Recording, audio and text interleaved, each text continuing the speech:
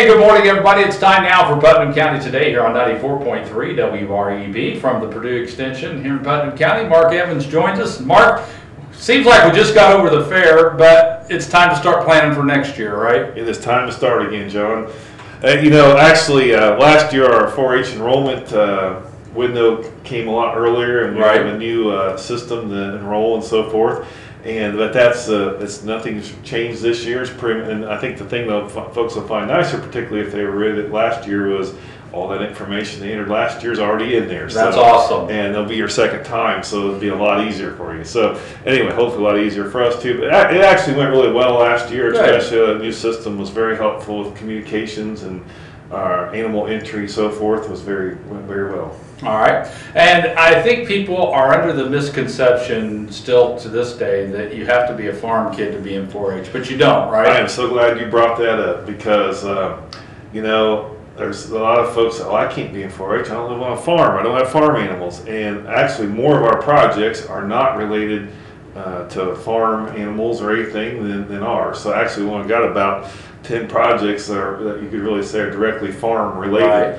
So out of our about 75 plus. So in fact, this year uh, we're adding uh, three new projects. One of those is Legos, Oh. and it's before folks could do Legos, but it's kind of one of the craft uh, exhibits. Right. And this year we thought we'd kind of separate those out and, and uh, make them so they're their own, so they're kind of competing against one another instead of things that are totally different. And then uh, we're going to try. Uh, it's, I don't know if we'll continue this ongoing or not, but you know, uh, Indiana's got an important birthday next year. That's right. 200 years will be on in, sometime in December, 1816. I can't remember the exact date, but anyway, um, we're going to have a project. Uh, it'll be a, a history project, and uh, folks can. Uh, we've got. They'll have that all written up yet. How we're going to do that, but we're going to have some opportunities for folks to hopefully uh, showcase Indiana's 200th birthday next year, our bicentennial. That'd be awesome. So we're really looking forward to that. So uh, anyway, that's uh, some new things that we'll have going for next year. And um, you know, the other thing I just want to say next week, uh, after fall break, uh, we're going to be heading out to schools. For those that are in grades three in particular, we're going to be uh, things will be going home.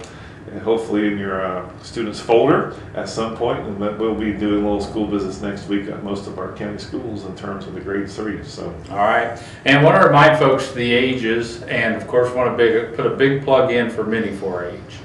Yeah, uh, mini 4-H, which is uh, we call exploring 4-H, but uh, actually we'll uh, do school visits for that a little later, probably in uh, December or January. And uh, mini 4-H or exploring 4-H is second grade, and uh, regular this 4-H is grades three through 12. It goes by grade. So Okay. if you're in grades three through 12, and, and if you didn't start when you were in third grade, that's fine. We actually have several kids that have re- inquired this year that's in grade 10 and they really like what they see with archery and so forth. And so they sign, they said, hey, I, I want to learn a lot about archery. So they signed up.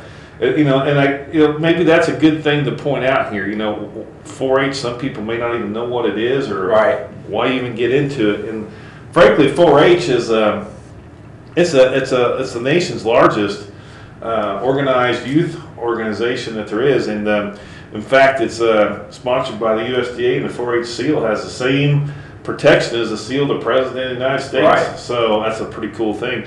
But anyway, it's basically lifelong learning, uh, career learning opportunities for youth in our case in Indiana, grades three through 12. And you know, I think a lot of people don't understand.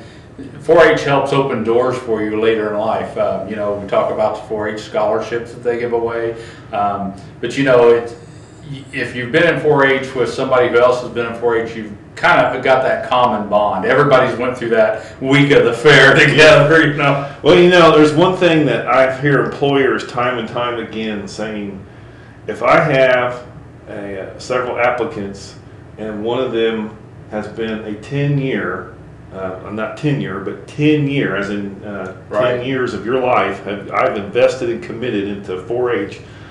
I'm going to go with that person because that shows me commitment, that's right. and uh, and that and and that really just tells me a lot about that person. And I think you have to go back on the work ethic too, um, because you know you have to work at 4-H. It just doesn't happen for you. Yeah, you know, we, um, you know, that's one thing we stress all the time. You know, parents sometimes will try to do their kids' 4-H projects or help out maybe a little more than they should in some cases. I don't think that happens as much as sometimes what people say, but Right. um, frankly, uh, you're really cheating the, the, the youth out of an opportunity right. when you do that. The parents are hurting the youth. The youth is, you know, aren't gaining anything by that. In fact, it's hurting them. So, uh, you know, we really, you know, we are, we really stress that, and, and 4-H is about the youth gaining hands-on learning experience. And you know, yeah, it started in the rural area, but so much now it's changed. And uh, fact, anybody in the city can be a part of 4-H. Yeah, we talked. I said we had three uh, projects earlier. The third one that I didn't mention, which we have competed in for the first time, is robotics. Uh, Oh, yeah. we have been very blessed. Uh, we had some donations into the year last year, and we got started with a robotics program using the Lego robotics. And then, um, thanks to Duke Energy, there was another gr- uh, great opportunity through the campus and several counties in the state, us being one of them, uh, where it was able to receive several more kits. We actually have 11 uh, robotics kits now, so we're going to be utilizing those in some school classrooms, but also utilizing those in terms of from uh, the, in September. There's this uh, competition that occurred, and we took uh, six youth this year. It's first time. It's actually only the third time this competition has occurred, but this year we took uh, six youth and learned a lot. Uh, Yeah. Learned kind of we're ready to go again next year. But they all had a blast, and it was really fun to watch them problem solve. And uh, basically, they had challenges like. Uh, they would have a square box, and there'd be uh, different types of uh, food that you might eat, and they had the like the My Plate Right. uh, deal as far as uh, healthy food choices.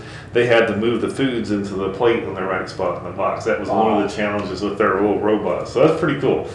Well, and you know, I think kids they can gain so much, you know, being in 4-H, and uh, you know, it, it's one of those things. You know, my background was in farming and 4-H, and you, you don't forget the friendships you create in those 4-H clubs.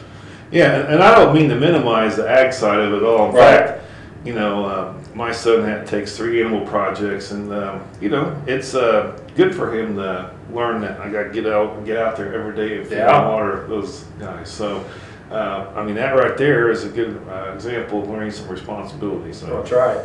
Well, Mark, how can people find out more about uh, you know 4-H and how they can become a part of it?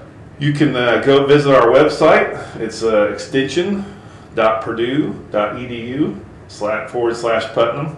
Uh, if you just leave the Putnam off, you'll get uh, the whole the general extension. You can go to county offices and select Putnam. But if you do extension.purdue p u r d u e dot edu and then forward slash Putnam, uh, that will take you to our county website, and uh, we have a quick links thing on that Mhm. page, and you can go there, and there's a spot to do 4-H enrollment. So. All right. Well, it sounds great, Mark. We look forward to having you back throughout the year. And if you ever have problems with that, it should go really smooth. But for some reason you're pulling your hair out, don't get frustrated. Call us. We'll be glad to walk you What's through that it. number? And that's 653-8411. 653-8411. Well, Mark, thanks so much for being with us. Always enjoyed having you in here. Appreciate it. Thanks, John. All right. Don't forget, if you're a nonprofit group or community organization, you'd like some free airtime here on WREB, you too can be a part of Putnam County today. Give us a call, 653 9717.